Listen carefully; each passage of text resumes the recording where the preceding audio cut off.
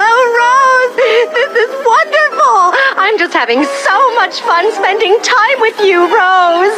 Forget about Greg. Let's go travel the galaxy. Pearl, thank you so much for fixing my van. Oh, uh,